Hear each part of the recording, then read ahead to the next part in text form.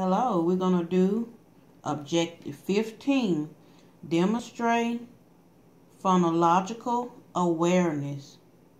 Mighty Minutes 33. We're going to do rhyming words. Fall and ball. Does those words rhyme? Fall and ball. Do they sound alike? So what I need for you all to do is listen. Listen. When the words sound alike, I want you to give me two thumbs up. Two thumbs up when the words sound alike. When the words do not sound alike, you're going to give me two thumbs down. Downward. So let's listen. Let's get started. Remember, we're doing rhyming words that sounds alike. Fall and ball sounds alike. So that way you give me two thumbs up.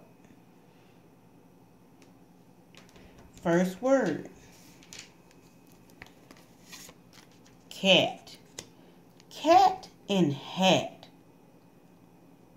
Two thumbs up or two thumbs down. Cat and hat.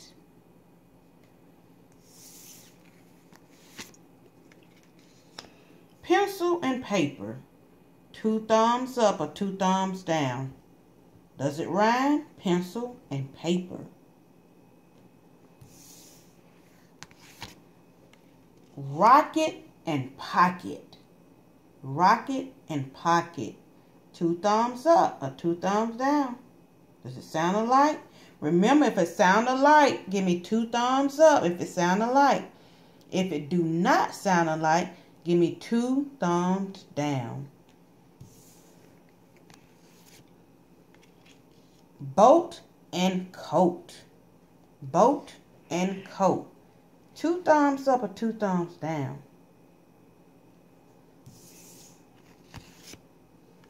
Juice and cup. Juice and cup. Two thumbs up or two thumbs down. Juice and cup. Jar and car jar and car. Does it sound alike?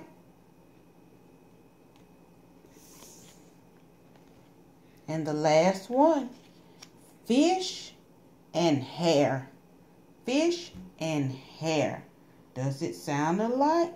Thumbs up a thumbs down?